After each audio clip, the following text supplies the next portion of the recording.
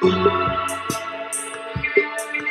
is the countdown timer YouTube shows before your YouTube Premieres video goes live.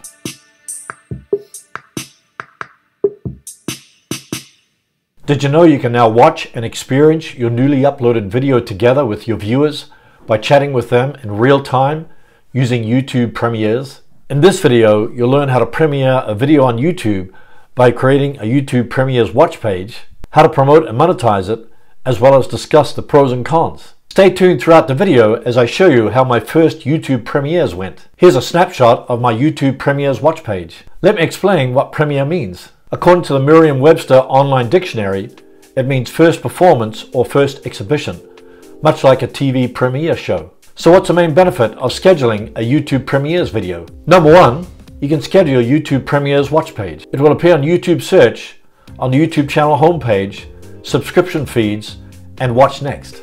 Viewers will also see a YouTube Premieres badge as well as a reminder icon to receive notifications when your video goes live. Number two, Chat with your viewers when your video goes live. When your video goes live, you can chat in real time with your viewers. This is a great way to engage with your viewers at the beginning of your video so you get a lot of view velocity. Number three, promote your video before it goes live. Before your video goes live, YouTube gives you a Premieres watch page that you can share with your viewers on social media, your website, and elsewhere. So how do you create a Premiere video? Click the camera icon on top of the page Click Upload Video. Select Schedule from the drop-down box. Click the Upload arrow. Select the video that you wish to upload. Highlight it. Click Open. Over on the right here you see New Premieres. Make it a moment. Build the hype. Get the fans excited about your next video.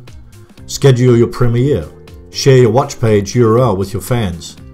Chat with fans before and during the premiere. Watch the premiere with fans in real time. We're going to select premiere, move the slider to the right. Now we're going to select the date and time that we want our premiere watch page to go live. I'm going to select Monday 8.30 am. Now you can optimize your title, description and tags. For the sake of this demo, I'm just going to copy the title, add it to the description and add it to the tags. Now that the video is finished processing, we can click on Premiere at the top of the page. Then you'll get a Premiere watch page. But we first want to upload a YouTube thumbnail and then activate the Premiere watch page. So let's go back to the video manager. Here's my video in the video manager. Click edit. Now we're going to upload a custom thumbnail. Click custom thumbnail. Select your thumbnail image. Click open. Now it's uploading. Now I have to go down here again and move the Premiere slider to the right. Now we scroll to the top and click on Premiere on Sunday, October 28th. Let's check the YouTube Premieres watch page. Here's my Premieres watch page. Notice it contains the badge Premieres in 23 hours and also it's got set reminder.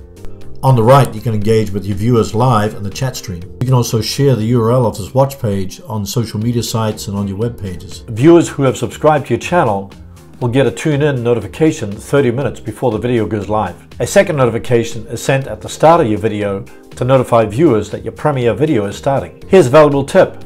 Encourage viewers to set a reminder from the watch page. You can tell them in the chat, a pinned comment, or even in the description.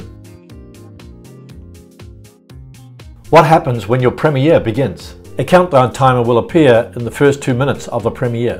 When the countdown ends, you can watch the video together with your viewers in real time. During this time, you can interact with your viewers in the chat stream by answering questions and offering comments. I experienced that once a video is over, so is the chat stream, so you can't continue chatting with your viewers after the video is over. So what happens to the video after it's over? The video remains on your channel as a regular upload with the same URL as the watch page that you gave your viewers. The countdown timer is not included in your video. Thank goodness. The chat replay is available to your viewers after they watch the video, unless you've disabled it.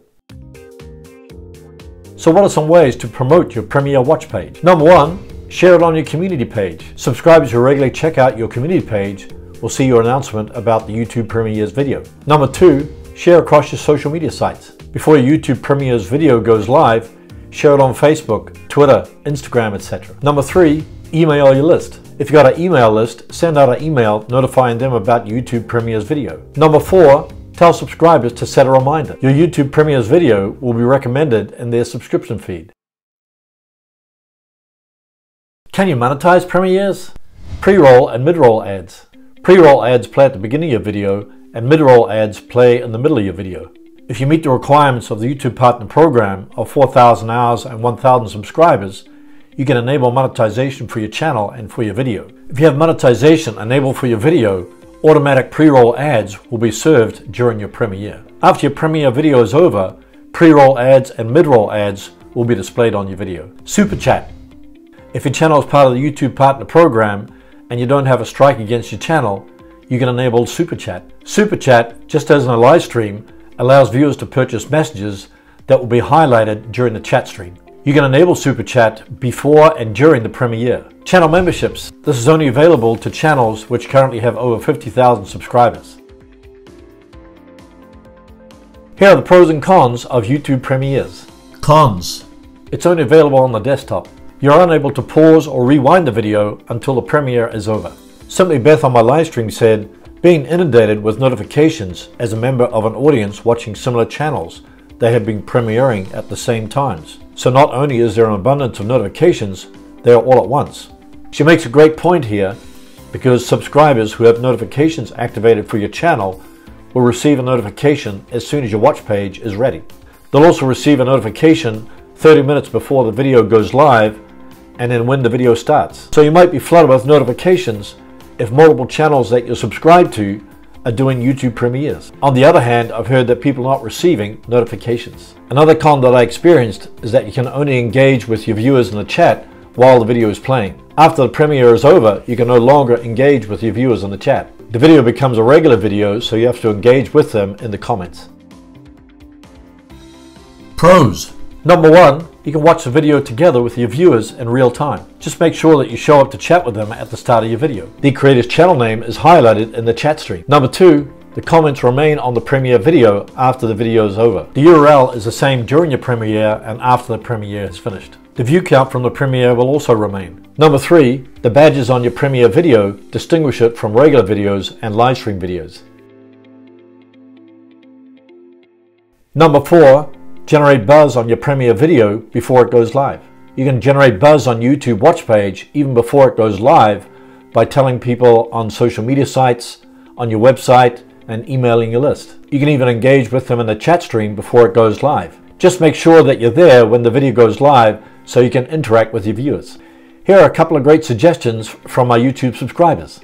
Simply Beth says, I think they can be great if you have a longer video coming out. It can really help keep the viewer engaged for that added watch time. Harley says you could even schedule videos back to back and at the end of one video point the audience to the next channel. Let me ask you an important question. What's been your experience hosting a premiere video or attending a premiere video? Post your answer in the comments below. I'd love to read them and I'm sure others would too. If you want to know how to identify what's wrong with your channel or videos so you can get more views and subscribers, Download my free YouTube channel evaluation worksheet. Make sure you also subscribe and check out the related videos. Thanks for watching and I'll see you in the next video.